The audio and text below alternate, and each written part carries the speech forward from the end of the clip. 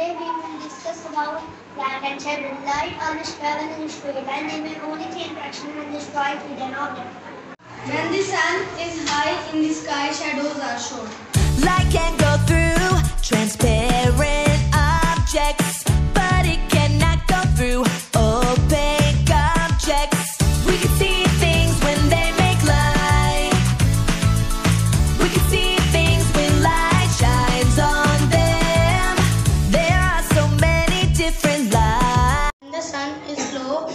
The sun is low in the sky, shadows are long.